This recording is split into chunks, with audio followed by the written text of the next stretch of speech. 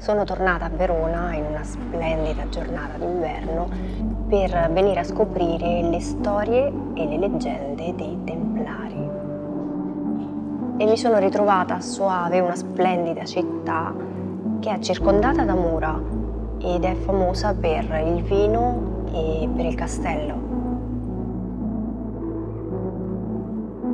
Dopo aver girato per le vie di Soave, sono recata alla cantina del castello dove sapevo che avrei trovato le informazioni che stavo cercando. Ad aspettarmi c'era Marco, il proprietario della cantina, che mi ha condotto nella parte più storica e sotterranea.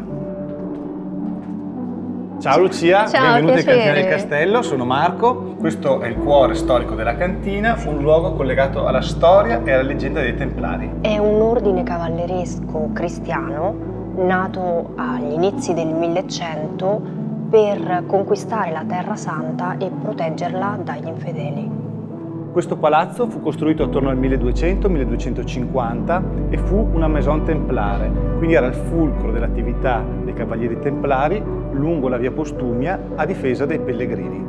Una cosa veramente interessante che mi ha detto è che all'epoca fungeva da istituto di credito, praticamente le persone potevano venire a lasciare l'argento e quindi intraprendere i loro viaggi senza pericoli perché poi potevano ritirare questo argento in un'altra maison. In questa stanza probabilmente i templari svolgevano le loro attività alchemiche, ma sicuramente anche di produzione di vino. Vino che a quel tempo era molto legato alle funzioni religiose di cui loro erano custodi. Loro avevano un forte legame con il mondo esoterico e mi ha accennato che probabilmente quest'area veniva utilizzata come stanza alchemica.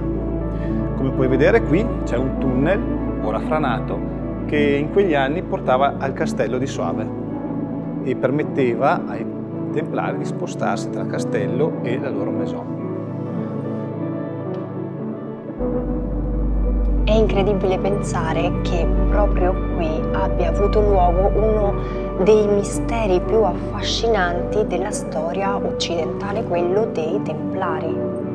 Quando poi usciremo potrai vedere sulla facciata del palazzo le iscrizioni che riportano il motto dei templari. Ma perché i Templari proprio qui a Soave? Soave e Verona al tempo erano molto importanti. Verona era conosciuta come Minor Jerusalem, quindi oltre ad avere una posizione strategica dominante, era anche molto importante da un punto di vista religioso e laddove c'era un'importanza religiosa i templari c'erano. Successivamente io e Marco siamo usciti per farci un giro per le vie di Soave e siamo arrivati fin sopra al castello che offre una vista meravigliosa.